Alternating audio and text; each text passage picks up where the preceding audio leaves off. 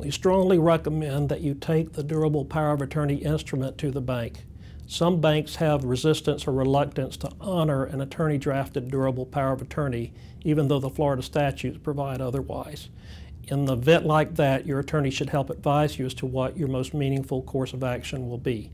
In many instances, the attorney drafted durable power of attorney will work perfectly well with your financial institution.